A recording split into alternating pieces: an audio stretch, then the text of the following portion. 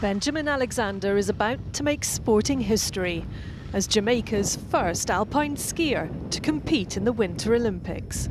Yeah, baby! Born in Britain, he only took up the sport six years ago in his 30s.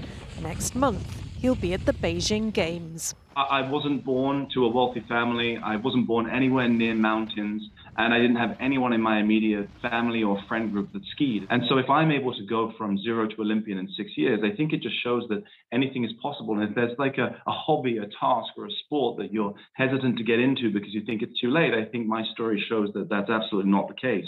It's bobsled time! He was in part inspired by the first Jamaican bobsleigh team immortalised in the film Cool Runnings. They've been giving Benjamin advice and encouragement to make the most of his Olympic dream. I want him to, to take a moment to enjoy the experience. I think he's going to be competent. He's, he's, he's not going to win the race, not going to set the world on fire, but I think he's, he's going to go from start to finish upright and and um, and he's going to ski hard.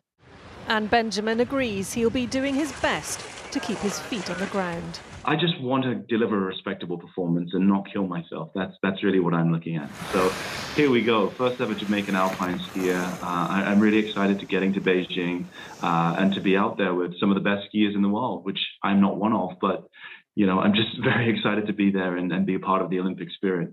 Oh God! Because taking part is what it's all about. Martha Fairley, ITV News.